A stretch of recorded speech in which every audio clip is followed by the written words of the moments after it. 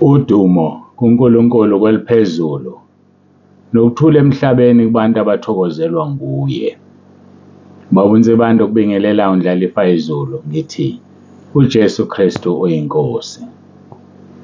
Siyambonga-ke kakhulu uNkulunkulu wethu siyamdumisa. Akekho ofana naye. Akekho futhi onjengaye. UNkulunkulu ezulwini, uNkulunkulu emhlabeni, uNkulunkulu ezinzulwini zonke. Wembethe amandla njengengubo. Wembethe inkazimulo. Unamandla uNkulunkulu wethu. Udalile izulu walendlala, odala umhlaba ophanyekezeni.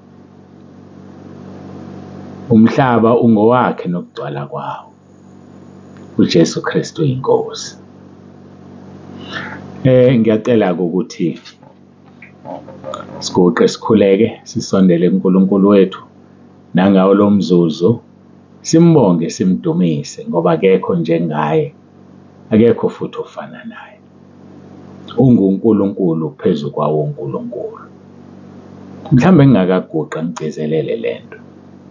Bayanda abantu abafuna ukushintshelwa iy'namba ku-WhatsApp athi sengifuna ukushintsha inamba ngifakele. Angisazi isizathu ukuthi yini. Kodwa ngiyafisa kwangathi kungaba isizathu esisemqoka ngoba kuwumsebenzi. Uma ufuna ukushintshelwa inamba, letha igama lakho nesibongo nenamba endala nenamba entsha. Ngike ngayisho lento sibalekela ukuthi useyivwe ngendlela ezihlukeneyo. Owakuletha kungenzeka ukuthi wakubiza eh ngoBhoyi Mkhize ngoba nijwayelene njengoBhoyi Mkhize. Uma usuziletha wena ngiyacela baba uNsibande ufake u-Emmanuel Mkhize. Hawu. Ngimbheke u-Emmanuel uthi hhayi uyangifaka ngicela ungifake baba ngangikhona ngaphuma noma ngishintshe inamba. Ngimfuna u-Emmanuel Mkhize akekho. Uthi wayekhona nje. Kanti uma uletha inamba endala ngifake inamba endala ekhipha uBhoyi Mkhize bese ngibona ukuthi uBhoyi no-Emmanuel umuntu oyedwa. Angazi uma uyayibona leyo nto. So noma yinini kuyafana lento. Uma uya kwa-Home Affairs noma yini yomthetho kufuna i-I_D ngoba i-I_D ikhipha lo muntu okufanele kube uyena. Ufaka nje i-I_D number sekulungile. Nangapha sisebenza nge-cellphone number. Ngiyacela ukuthi siyibambe leyo nto izosisiza isilekelele kakhulu. Angazi ukuthi kwenziwa yini abantu abathanda ukushintsha iy'namba. Kodwa-ke futhi angisho ukuthi ngitshela isizathu, cha. Kodwa nje kona kuyasebenzisana. Kodwa-ke njengesisebenzi senu ngizokwenza. Ngoba omunye unesizathu esisemqoka kuhekhwa ifoni yakhe or what what angazi. Kodwa-ke kulungile ngizokwenza kodwa nje ukuze kungalokhu ngicele lokhu ngicele lokhu ngifuna nje izinto eziwu-four uma usukuletha umuntu emusha bese ka-five uletha inamba yakho endala. Ngoba isikhathi esiningi baletha ezintsha abafuna ukungena ngazo. Ngicela endala phela khona ngoba ngale endala uzothola ukuthi ukhona egruphini kufuneka ngikukhiphe bese ngikufaka ngentsha. Singalokhu sithi sinabantu abawu-six thousand kanti kulo six thousand u-hundred u-duplicate-ekile. Iy'nkonzo ziya enambeni engasaphili enga-exist noma yahekhwa. Uyayibona leyo nto? Letha inamba endala khona ngizokukhipha egruphini ngoba mhlawumbe awukhishiwe mhlawumbe wathathelwa ucingo ukuze ngingakufaki kabili. Hhayi-ke ngiyacabanga ukuthi izwakele icacile. Ake siguqe sikhuleke siye kuNkulunkulu wethu osithandayo.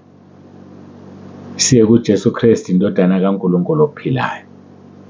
Umoya ongcwele uza kusiyela ngoba uphila kithi phakade. uJesu Kristu uyinkosi.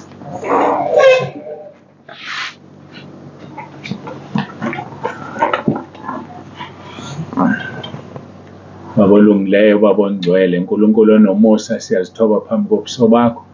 Siyakubonga ngothando lwakho sithande ngalo ukuba silubone lolu suku. Ngiyacela ube kanye nathi kule nkonzo. Khuluma Nkosi uzambule kube khona abakutholayo okubasizayo Nkosi ukuba ibandla lakho likulungele ukuhlwithwa. Ibandla lakho likulungele ukubuya kwakho. Ngiyacela-ke Nkosi ube kanye nami, ube naye olalele, ube nathi sonke uhlale phakathi kwethu umoya ngcwele khuluma izwi lakho ngoba izwi lakho liyaphila linamandla libukhali uJesu Kristu inkosi amen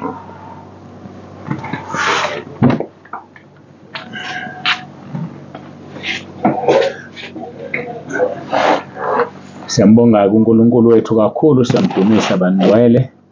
Akekho ofana naye, akekho njengaye. Eh ake siye-ke ezwini lethu esiqhubeka nalo. Izwi lethu sikhuluma ngokungcweliswa ngezwi. NgokaJohn chapter 14 uqolo.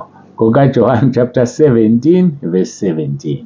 Angazi u14 sengimthathaphi ngixoleleni bangcwele. Eh ngokaJohn chapter 17 verse 17 umkhuleko wenkosi yethu Jesu.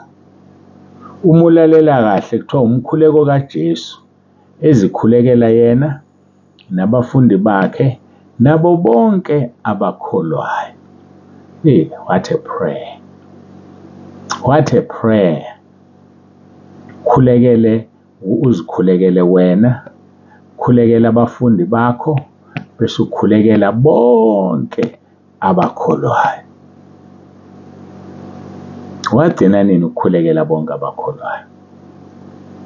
Hayi ngiyabuza nje.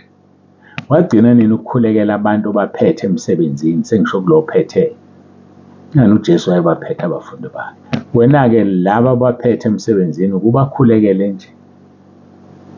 Umholi webandla wagcina nini ukukhulekela abafundisi abangaphansi kwakho noma abavangeli noma uluphi uhlobo olubizwa ngalo ngokuhleleka kwebandla wagcina nini ukubakhulekela uma wake wabakhulekela Nkosi uJesu ayizange isikhohlwe noma sesingakafiki emhlabeni. Wakhulekela abafundi bakhe wazikhulekela yena wakhulekela bonke abakholwayo. Uyicacisa kahle lapha yana eh kuvesi 15 uthi angiceleli ukuba ubasuse ezweni kepha ngicela ukuba ubalonde kokubi. Abasibo abezwe. Ngiyaxolisa kakhulu ngocingo ngiyaxolisa abasibo abezwe njengalokhu nami angisiyo wezwe verse 16 verse 17 bangcwelise ngeqiniso.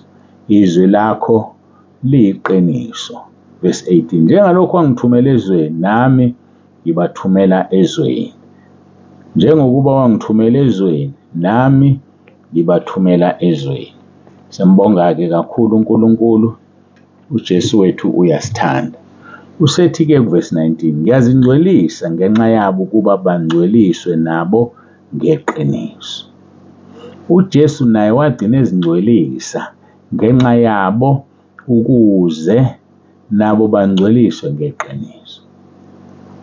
Uma ngiwumholi webandla ngingazingcwelisi ngingalindeli ibandla lizoba ngcwele. Lizoba ngcwele kanjani ibandla mina ngingekho ngcwele? Alikwazi ukuba ngcwele ibandla. Njengalokhu wangithumela ezweni nami ngibathumela ezweni. Ngiyazingcwelisa ngenxa yabo ukuba bangcweliswe nabo ngeqiniso. Khona into-ke kufanele ukuthi uyenze uyenze ngenxa yabantu uNkulunkulu akunikeze bona. Uyenze ngenxa yomndeni uNkulunkulu akunikeze uzingcwelise uzingcwelisele umndeni wakho. Uzingcwelise. Ungatholakala usemahlazweni ukuzingcwelise wenzele nje abasemsebenzini lingaphoxeki igama likaNkulunkulu uzingcwelise wenzele ibandla kulo. Lingezwe iphunga ngaloya baba ngaloya mama ngaleya nsizwa ngaleya ntombi ngaloya ngane ngaloya mkhulu naloya gogo senze ukuthi uzingcwelise. And just do it for the church. Just do it for somebody else. Uthi uJesu ngiyazingcwelisa ngenxa yabo kuba nabo bangcweliswe. Buwazi ukuthi ukhiye wokungcweliswa komuntu oseduze kwakho ukuwe. Ukhiye wokungcweliswa kwey'ngane zakho kukuwe. Ukhiye wokungcweliswa kukababa wasekhaya ukuwe. Lokhu umbuka umgxeka umbeka amabala. Ukungcweliswa kwakhe kukuwe. Mkhulekele mzilele ukudla. Umncengele kuNkulunkulu umkhulekele. Ukungcwelisa kwalo baba kukuwe. Uyaqonywa unezintombi wenza konke kodwa ukungcweliswa kwakhe kukuwe. Ubuwazi ukuthi ukungcwelisa kukankosikazi wakho kukuwe. Ukungcweliswa kwakhe. Khonza uNkulunkulu hamba ngobuqotho. Ungamnaki ukuthi wenzani? Mkhulekele umcelele uNkulunkulu. Ukungcweliswa kwakhe kukuwe ngoba uma uvela umlahle ukhohlwa uyena igazi lakhe lizobuzwa kuwena. Uthini uJesu kowesifazane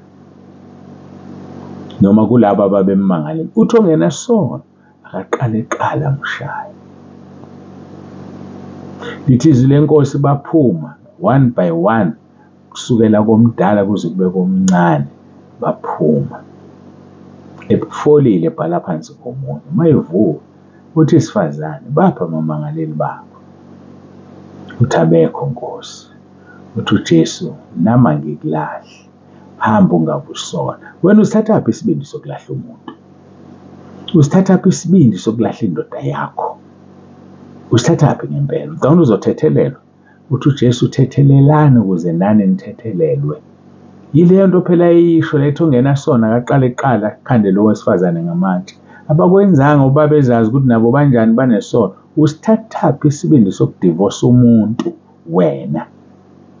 Ubusuthi uzongena ezulwini? Hayi khohlwa mxolele mxolele akusikhona okwakho ukuthi wone kangakanani. Sono siyisono siyafana sincane sikhulu mthethelele usithathaphi isibindi sokumlahla unkosikazi wakho.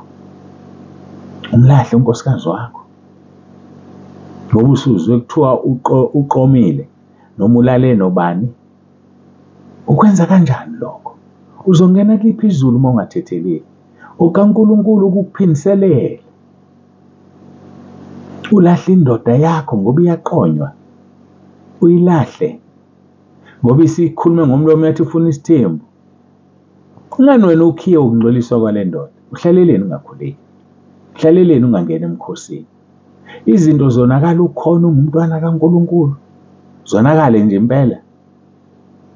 Isibindi sokuthi abe yilento ayiyona aphinde afike emzini wakhe wena uyilangabi lomlilo ini lingasho idimoni elikuyena zihlole mzalwane indaba ikuwena indaba ikuwe yini lingasho idimoni elikuye bazalwane bangcwele ngiyancenga ngikuKristu ngiyanicela buyisanani noNkulunkulu zingcweliseni. Wazi ukuthi ukhiye uthi uJesu ngiyazingcwelisa. Ngenxa yabo ukuba bangcweliswe nabo ngeqiniso verse 19 Mntaka baba ake uzingcwelise uzingcwelisele nje ibandla okulona. Uzingcwelise uzingcwelisele ikhaya okulona uzingcwelise uzingcwelisele umshado okuwona uzingcwelise nje ngenxa yawo ngoba igazi lalo partner wakho lobuzwa kuwo athi uvesi 20 ke uJesu angiceleli laba bodwa kepha nalabo abakholwa yimi ngezwi labo. Lapho la singena khona akaceleli laba abafundi bodwa. Nalabo abayophenduka kushumayela laba abafundi bakholwe ngezwi labo baba ngiyabacelela. Kusho njalo uJesu. Wasikhulekela singakabikho wasifela singakazalwa waphinde wasikhulekela. Hey bafowethu yeka lelo cala lezo nyembezi zenkosi uJesu ekhalela mina ekhalela wena uma singenzanga kahle. Soba sesihogweni esinzima kunezinye ihogo. Ngeke ngakhuluma kulezi insuku ngathi uNkulunkulu ngambulela imfihlakalo yokuthi ilanga alishisi ngendlela efanayo kumuntu okholwayo ngeqiniso nakumuntu ongakholwa. Alishisi ngendlela efanayo. Nesihogo-ke kunjalo asiyushisa ngendlela efanayo kumuntu elazi iqiniso egodlini inkemba yakhe egazini. Jeremiah 48 verse 10 ngeke sifane isihogo sakhe nalo osha engazange azi lutho. Njengoba nelanga kunjalo ake sibheke eh amahubo 121 amahubo 121 uzoyithola lento engishoyo yokushisa kwelanga amahubo 121 Eh uNkulunkulu angisize ngisheshe ngifike amahubo 121 uthi uqala kuvesi 3 khona sosheshe sifike. Akayivumi ukuba unyawo lwakho lushelele okulondolozayo akayikozela.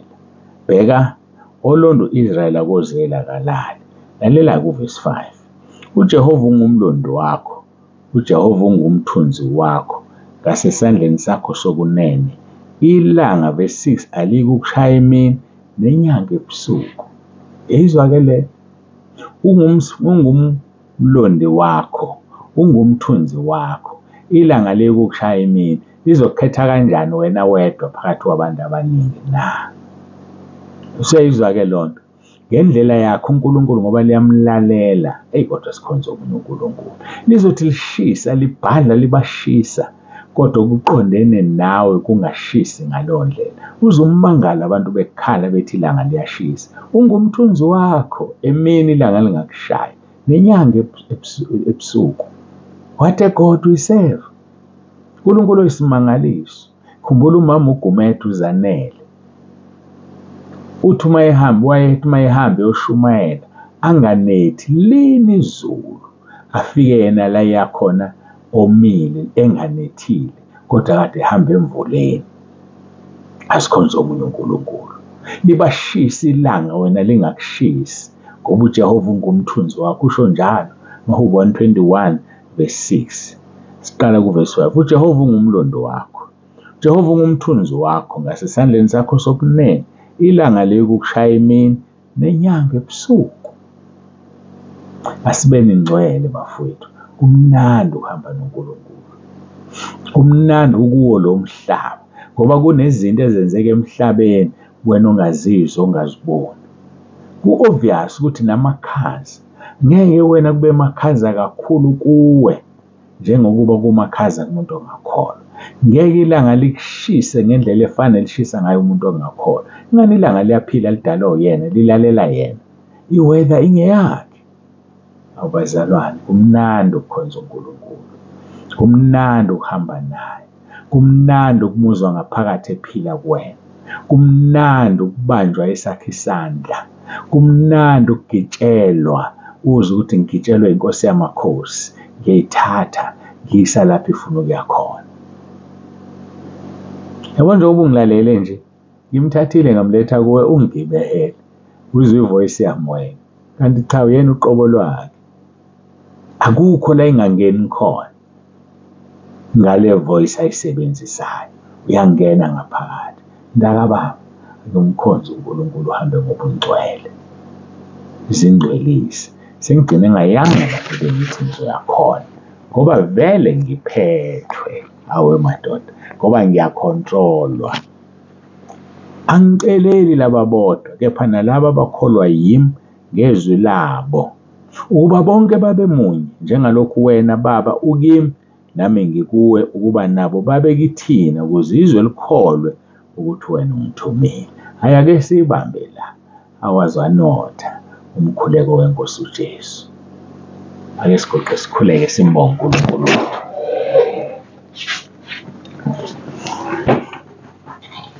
Baba wethu ongcwele uNkulunkulu onomusa uNkulunkulu onesihawu siyabonga.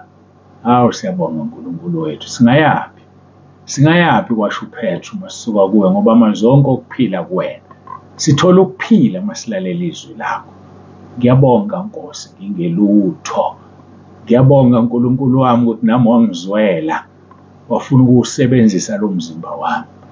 Nkosi ngingelutho ngiyisona esikhulu kunazo zonke kodwa wangenzela umusa ngiyabonga. Ngisize Nkosi ngikukhonze ngeqiniso. Ngisize uNkulunkulu wami ukuba ngingathi sengishumayeza abanye ngilahlelwe ngaphandle mina uqobo ngiyacela ngiyacela. Size uNkulunkulu wami ngingabi yibhodi elikhomba izulu lingayilona. Ngisize ngibe umholi oluphila izwi abangilandelayo Nkosi ngoba mina ngihamba enyathelweni zakho bathola ukuphila. Siyabonga uJesu Kristu inkosi. Amen.